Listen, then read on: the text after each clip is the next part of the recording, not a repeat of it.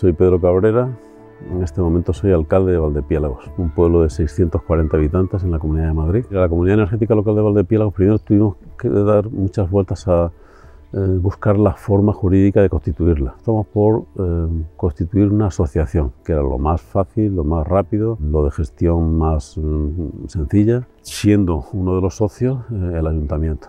El ayuntamiento actúa como impulsor, como mediador, como catalizador de, de la comunidad energética, pone a disposición de la comunidad energética las cinco instalaciones fotovoltaicas que ya tienen edificios municipales, más las cubiertas de algunos edificios municipales en las que hemos pedido subvenciones para construir instalaciones más grandes. Aparte de eso, hay socios de la comunidad energética local que tenemos instalaciones fotovoltaicas en nuestra casa. Con lo cual, el compartir a escala local los excedentes, en lugar de mandarlos a la comercializadora y que ya te retribuya un dinero que nunca va a ser tanto como podrías conseguir comercializándolo entre los miembros. Con todo eso conseguimos, digamos, estimular el, el uso compartido de la producción y de la distribución de energía a nivel local.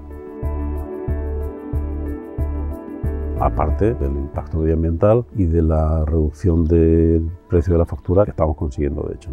Y luego además se tiene la posibilidad de que al funcionar como comunidad energética local, vecinos que tienen un techo en su casa que no está bien orientado puedan beneficiarse de aquellos mm, eh, lugares de producción de energía fotovoltaica que sí disponen de ese tipo de situación.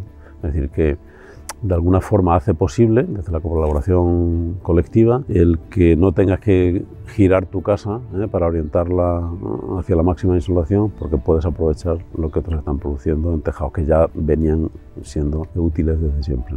Entonces ahí hay una base que utilizamos, pero lo suyo y lo que buscamos y lo que hemos conseguido de hecho es que sea gente del pueblo de toda la vida y vecinos nuevos los que se comprometan y se asocien a esta iniciativa. Los ayuntamientos en, relación a la energía tienen un factor muy estimulante para desarrollar estas formas de generar y, compartir el, consumo y la distribución de energía, en nuestro caso fotovoltaica, mm, tienen un papel fundamental como catalizador, como impulsor, como, como agente de confianza de cara a los vecinos. ¿no? no necesitamos construir grandes plantas fotovoltaicas independientemente de lo que sea su impacto medioambiental, ¿no? sino que puede ser una cosa que para compensar las necesidades energéticas de una población relativamente pequeña sea más que suficiente haciéndola, difuminándola en, el territorio. ¿no? Y con instalaciones pequeñas o medianas tienes más que suficiente para producir y, y consumir localmente lo que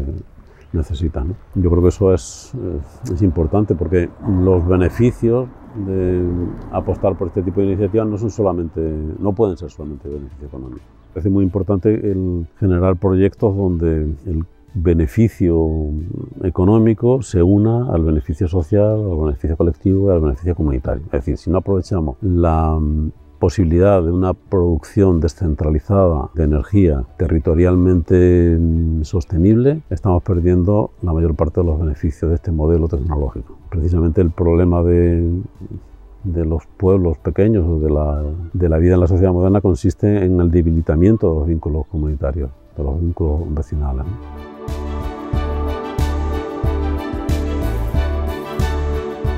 Soy Laura Feijó, coordinadora del área de autoconsumo y comunidades energéticas de COO Energía Ciudadana. El Ayuntamiento de Valdepiélagos tiene un compromiso muy importante con la transición energética. Ya en el 2018 hicieron varias instalaciones de autoconsumo fotovoltaico para sus instalaciones municipales y ahora están enmarcados en el impulso de una comunidad energética en el municipio. Lo ideal sería que participase todo el municipio. Es un municipio pequeño de unas 700 familias y quieren que participe el ayuntamiento con una parte importante porque va a hacer la cubierta, las familias y los hogares de Valdepiélagos y también pequeñas empresas que hay allí. Lo que quieren realizar allí es una gran instalación de autoconsumo de 100 kilovatios sobre una cubierta de un polideportivo y compartir esa energía con todos los habitantes del pueblo, de forma que mm, puedan traer la energía renovable al municipio y que además se puedan ahorrar algo en su factura de la luz. ECOEL en esta comunidad energética está apoyando todo el diseño de la, de la, comunidad energética. Hemos hecho, por un lado, el diseño técnico de la instalación de autoconsumo colectivo de 100 kilovatios. Hemos estado apoyando la creación del grupo motor que ha impulsado la constitución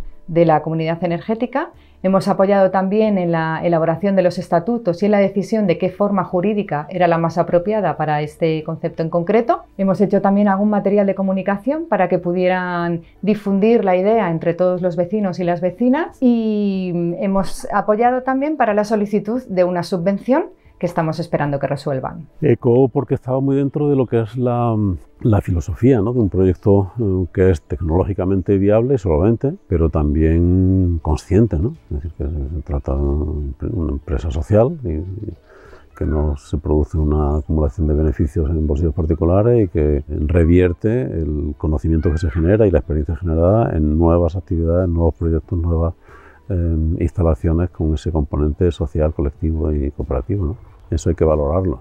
Tiene un plus que lo hace particularmente interesante cuando se actúa desde una institución pública, como es un municipio.